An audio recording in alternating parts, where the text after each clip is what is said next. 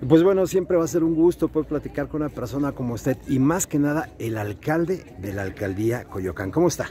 Oh, eh, hola, muy buenas tardes. ¿Cómo les va? Soy Giovanni Gutiérrez, alcalde de Coyoacán. Te saludo a ti y a todo tu auditorio. Muchas gracias. Pues bueno, siempre va a ser, como le repito nuevamente, un gusto poder platicar con usted.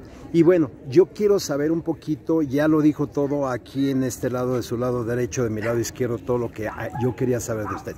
Pero bueno, la alcaldía Coyoacán, como dice usted, que es la alcaldía de las mujeres. ¿Por qué lo dice así?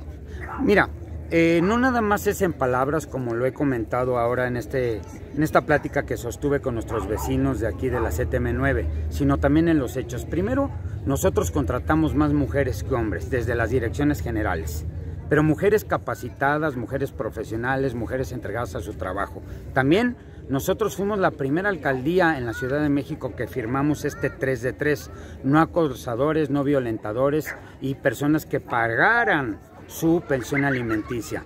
Pero también, fíjate más, creamos de nuevo el programa de las estancias infantiles. ¿Cómo íbamos a pensar que a una mujer que necesitaba chamba la iban a contratar teniendo un hijo? ¿Dónde iba a dejar el hijo? En un lugar seguro, en un lugar donde aprendiera, entonces nosotros trajimos de regreso las estancias infantiles de Coyoacán. Eso le da a la mujer empoderamiento para poder salir a trabajar y poder llevar a su casa pues más provisiones, más alimento, más condiciones para que tuvieran una economía más desahogada. Pero también déjame decirte, somos la alcaldía con menos feminicidios en la Ciudad de México. Esto junto con todo el trato que nosotros hacemos directo con las personas, sobre todo con las mujeres, recibiéndolas en la alcaldía, recibiendo su problemática, recibiendo su gestión, hace que la alcaldía de Coyoacán sea la alcaldía más segura pero más comprometida con la mujer en la Ciudad de México. Alcalde, la seguridad, por supuesto que yo la vivo aquí a diario, porque por supuesto yo soy de esta alcaldía, ¿no? Este, yo la veo bien, yo la veo bien, eh, desde mi punto de vista no le falta nada pero algo más que usted le pudiera meter a la alcaldía en cuestión seguridad, alumbrado público, seguridad, todo lo que viene siendo lo que las, las gentes de aquí requieren. Fíjate que el programa de Iluminando Cuyocán contigo es un programa muy exitoso porque tú sabes que la reina de la inseguridad es la oscuridad. Primero nos dedicamos a cambiar todas las luminarias de Coyoacán, pero también tiene que ver el reencarpetado. Tú dirás, ¿por qué? Imagínate que no hay no tenemos luz y se te poncha la llanta a las 3 de la mañana, te bajas y la cambias y te asaltan. Teníamos que tener las calles en condiciones perfectas para que no ocurriera ningún accidente, pero también en cuestión de seguridad, nosotros nos coordinamos muy bien con la Secretaría de Seguridad Ciudadana, la Guardia Nacional, la Marina, para hacer recorridos en conjunto, no solo en las unidades habitacionales, también en los fraccionamientos, en los barrios, en las colonias de Tocoyoacán, y lo hacemos de manera coordinada. ¿Cómo hacemos esto? De una manera muy fácil. Nosotros tenemos bien claro cuál es el índice delictivo en cada una de las unidades territoriales, de las 163 unidades territoriales que tiene Coyoacán. Y de manera inteligente, con algoritmos, vamos viendo dónde tenemos que ir haciendo recorridos. Pero también cuando nos empiezan a reportar lugares donde se prenden focos rojos como chelerías, vamos y actuamos. Porque no vamos a permitir la venta ilegal de alcohol. No estamos en contra del alcohol.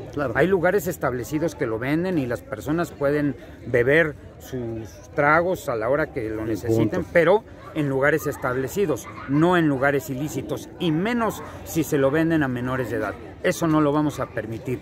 Eso es conjunto, es parte del programa de seguridad que tenemos para todas y todos en Coyoacán. Alcalde, ya casi para dejarlo, yo tengo este, una pregunta muy importante. Yo me enteré hace unos meses y yo no nada más, sino muchas personas de compañeros de medios que la alcaldía Coyoacán cobraba 80 mil pesos por tumbar esos maravillosos árboles que estorban a los edificios, que pudieran caer en los edificios y pudieran este, estropear el patrimonio de las familias que viven ahí, que cobraban 80 mil pesos. Yo le pido a las vecinas y a los vecinos que, que tuvieron este incidente, vayan y lo denuncien ante el Ministerio Público y que por favor se abstengan se abstengan de ofrecer dinero a los servidores públicos, porque es corrupto el que da y es corrupto el que recibe.